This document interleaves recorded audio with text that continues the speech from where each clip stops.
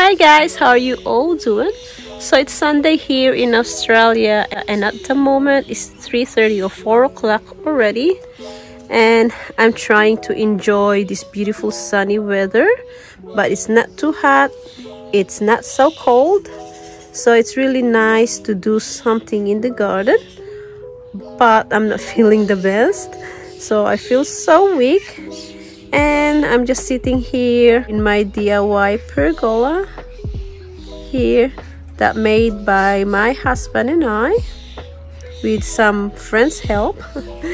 And I'm planning to put this one somewhere in the garden but my brain is not working at the moment. And yeah so I just decided to sit here and enjoy the beautiful weather and enjoy the plants that surrounding me.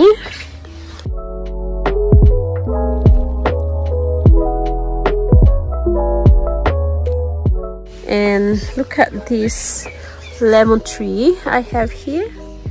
Look at that. It's full on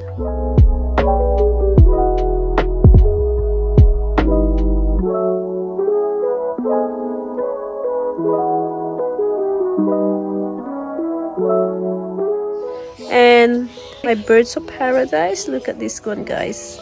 It's really healthy and it's very tall. Look at that. And yeah so just sit down here. Maybe put the feet up like that and relax. The sky is blue. It's nice to do something when you have enough energy. And when you have this beautiful weather take advantage of it do something in the garden because when the weather get bad then all you have to do is do a household work inside work. So yep. So here's the better look of these birds of paradise. So I got that one before when it's just tiny probably that height. Look at it now. Very uh, easy to look after. Drought tolerance. So if you see some birds of paradise guys. Grab it and you can have a tropical feel in your garden. And my vertical garden that I made with my husband it's not doing well. Not all of them are doing well. Let's have a closer look. Um, some of them are dying. Like that one there needs some replacement because I really don't have a luxury to water them every second or third day.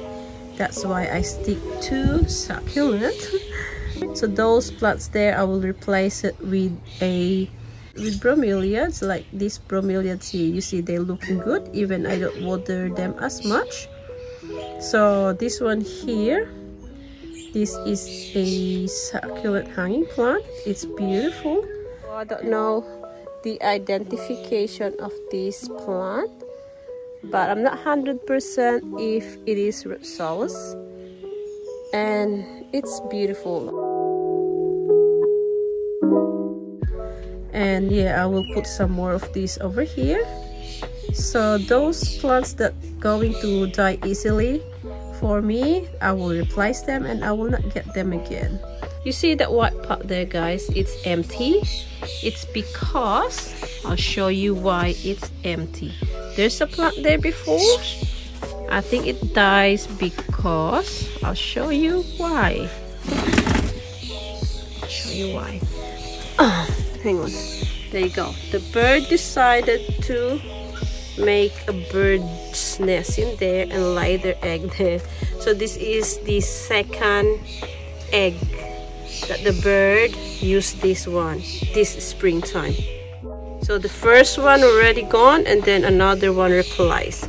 So I can't really take this one off or replace this pot here until those birds are finished laying their eggs. So yeah. Anyway let's leave that alone and let's look around more over there where my barbecue area is a double shy it's really nice in there. But there are lots of weeds that I need to pull it out. At the moment it's really nice to just sit down here and admire the beauty of nature. Some of the roses are growing. And that aloe vera there look it's flowering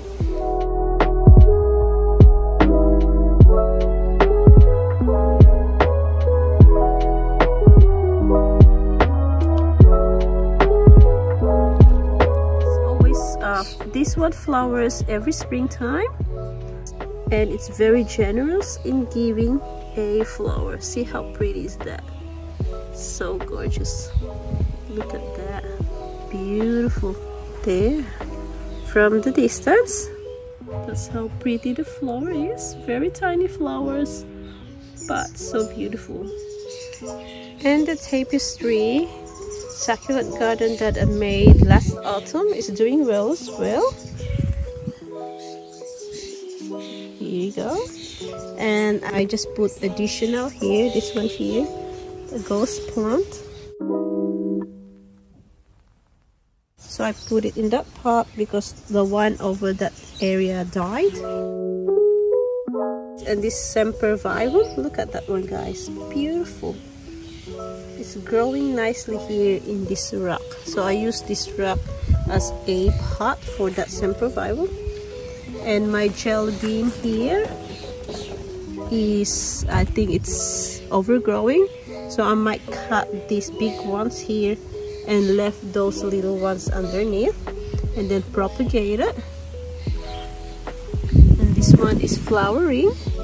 So I'll just leave that and the blue metal still beautiful especially the Aeonium kiwi nice. Here.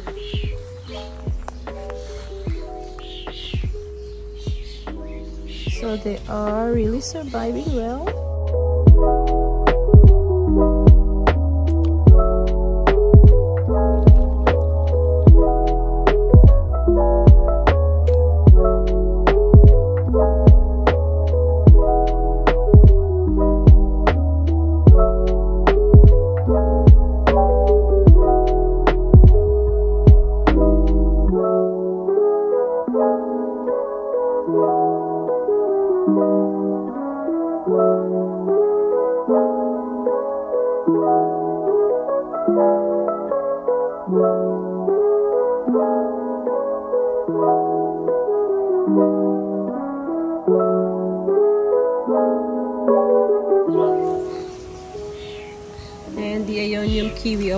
not getting much sunlight.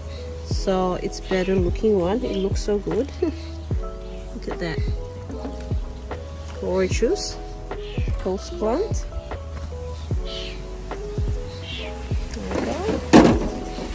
Over here. Um, over here guys this one is my leaf propagation that I need to separate and put it in a bigger container.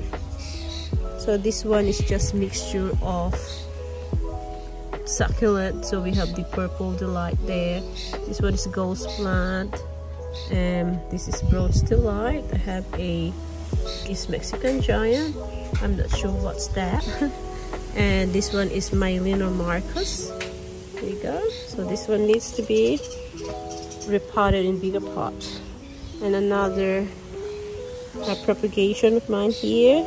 So this this tray here guys and that one here they've been sitting in my greenhouse under the grow light.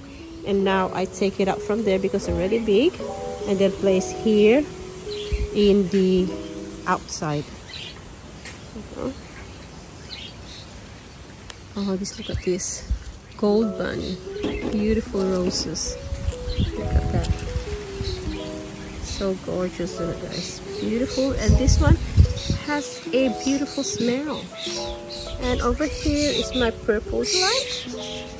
Here it's been attacked by a powdery mildew I think. But I already sprayed this with fungicide and it's recovering well. There you go. Pretty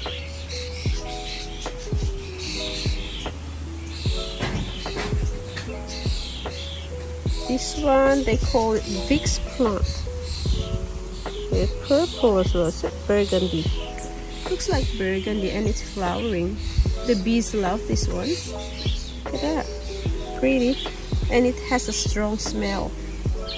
Hmm. What else do we have? This one here. Look at that. So gorgeous color. Um, I don't know the identification, but it's beautiful. That. Just hanging in here? And some of my just a ordinary roses. They are very they are flowering nicely. Nice addition color to the garden. Beautiful. My nodulosa painted lady has new pops there gorgeous. Over there. Beautiful. Okay what else we can see? This one here. So this one also started from leaf propagation under light and look at it now. They are big and huge. And flawless as well. Yeah. So gorgeous. Beautiful black prince. That's black prince there. I don't know what's the name of this. Usually this one dies on me but now it survives. It's growing. Nice beautiful like combination with black and that kind of grayish bluish color. Gray I think? Mm. but it's overtaking the black prince so I have black prince underneath this so I'll have to take that one out and over here too. See? There you go. And look at this one guys. This one is i think is a starburst. Sedeveria starburst i'm not sure. But i cannot take the credit of this because i just got this one last year from garage sale and it's already long. Maybe i'll show you. Maybe half of the size there but it grow longer again. And i have lots of flowers there at the bottom that i need to take them off like this. So I need to tidy up this one and remove all these flower stalk because they're already finished flowering. So to show the beautiful uh, rosettes in there hanging like that. See that's beautiful. So you can grow your Sedeveria starburst like this guys if I get the ID right. So that's how it looks like from a distance. It's beautiful there. So I just need to remove all these flower stalks here. And my sedum donkey's tail. I just moved this one here to get a strong bright light and see if those leaves there because they are very far apart. Maybe later on from the top here they will grow a bit bigger bigger leaf and get thicker. See how it goes? There. That's what it looks like. And those arrangement that I made the barrel wine arrangement it's really growing fast. Look at that. Beautiful. There. And this one the ruby necklace. I need to expose them more. Maybe I'll have to take this one off and put it in another pot. There. The set sedum Tokyo Sun really beautiful I like it. Blue metal. Orion. There you go. And this Sempervivum here is growing nicely and healthy. And my Aeonium something. I don't know the complete name the Aeonium is really growing thick as well. And my breaker. There you go. They grow so fast. See? Let's have a look from here. That's what they look like at the moment. Very crowded now. But it's really beautiful in real life. But in the video it looks so crowded this one too guys look at this one. Before it going to disappear the flowers like this one here it's already wilted. And before it will disappear very I better share it to you. It's so beautiful. The color is so gorgeous pink. This one is really wide open before but I still have one more there. It's gorgeous. It's every Epiphyllum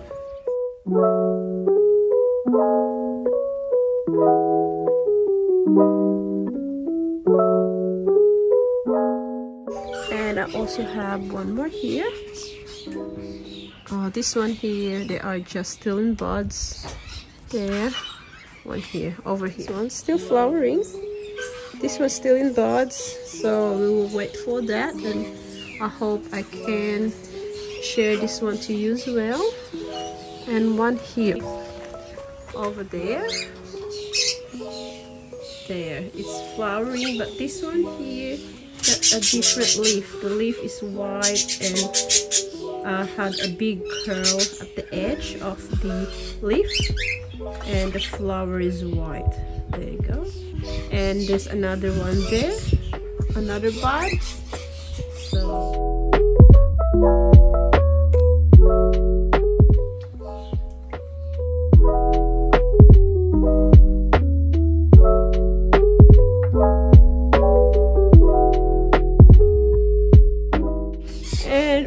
this star jasmine.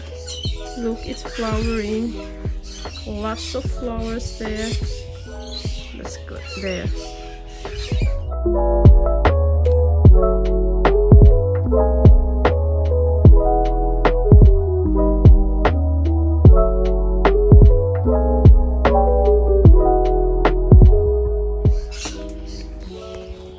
This one here i think this is a ghosty and been attacked by something. Look at the leaf or maybe hail.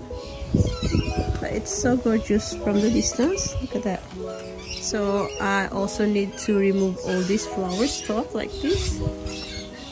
Later on there remove them like that. So when I get my energy back then I'll have to attend to them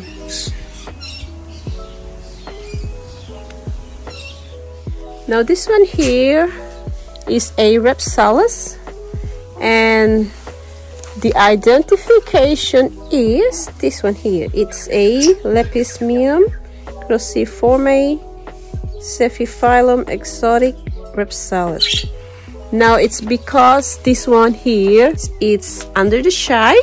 That's why it just look green but if I expose this to indirect morning sun like a strong bright light this will turn into a dark purple color. So like this color underneath this leaf here with my string of hearts or something like this color as well. So I seen this one turning that color but now because of this jasmine tree or jasmine bush that I have here so it's not getting enough sunlight or enough bright light and that's the reason why it's just green.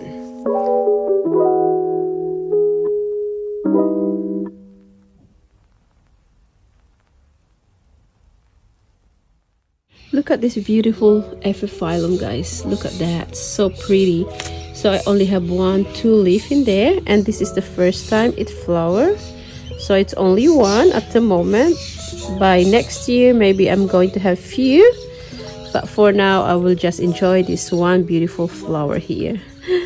And i will enjoy it while it lasts because they don't last long. They only last for three to four days and that's it for them.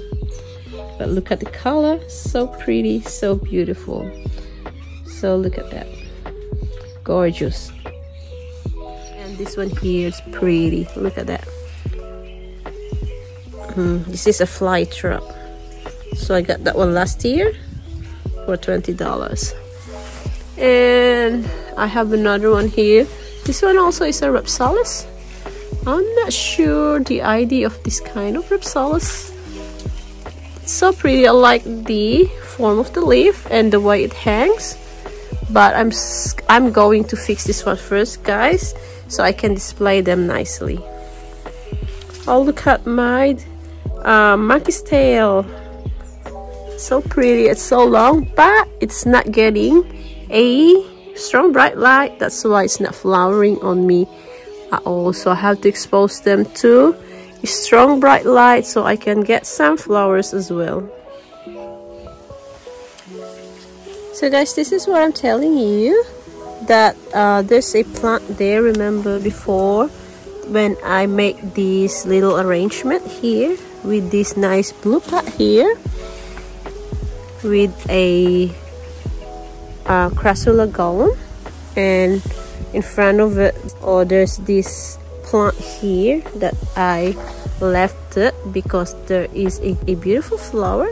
So this is the flower guys. And look at it. It has lots of flowers at the moment.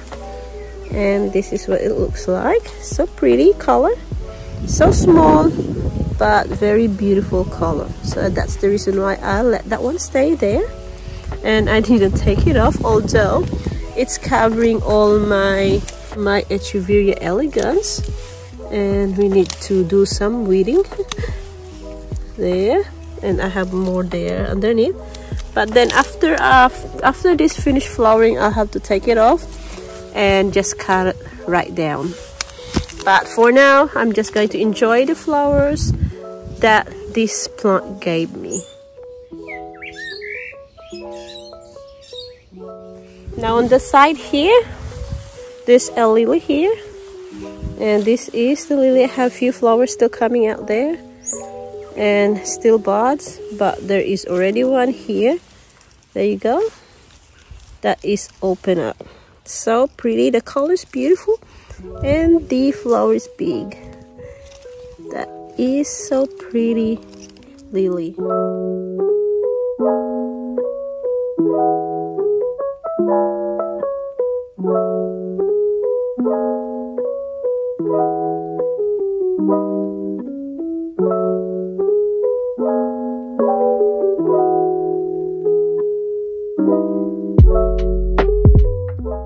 As well as some of my uh, roses. Look at that they are showing off colors.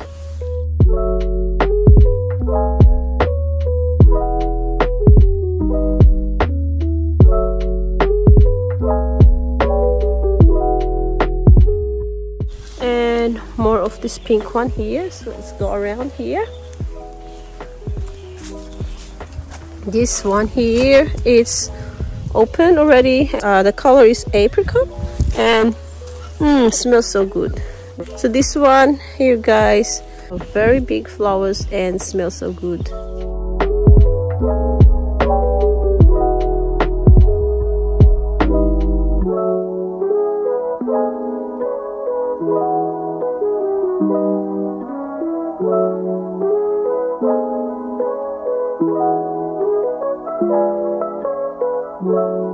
Now over here, this is just a small cluster or clump roses.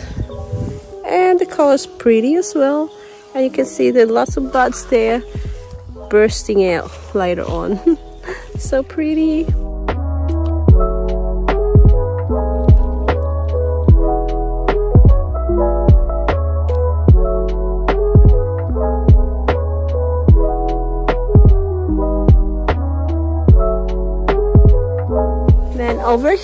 has another roses. There you go. This one has a pink color beautiful pink color and it's also have a mm, beautiful smell. Smells so good. Uh, and more buds here and another one here. Pretty one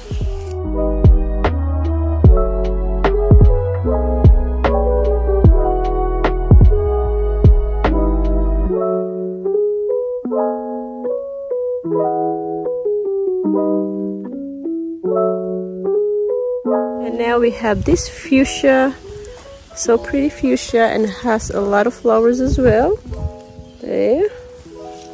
Pretty pretty one especially at the fall distance. See how pretty is that? So gorgeous. And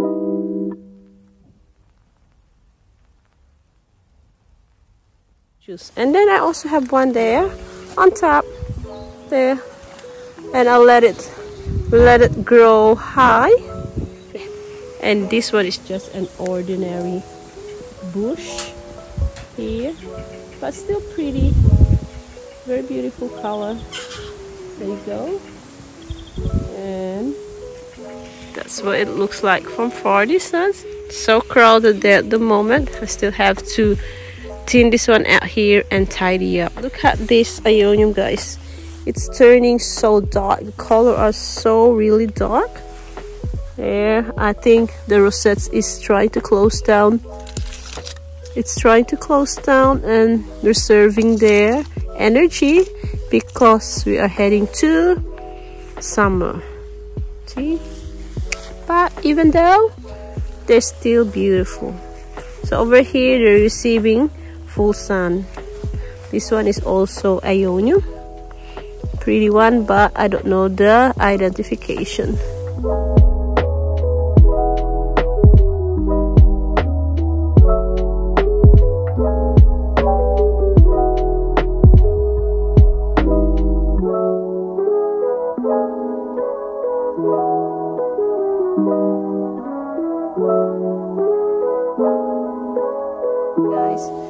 this one guys.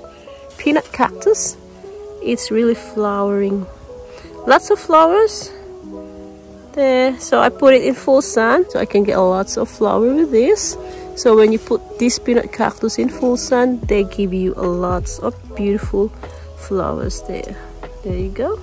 So beautiful and so pretty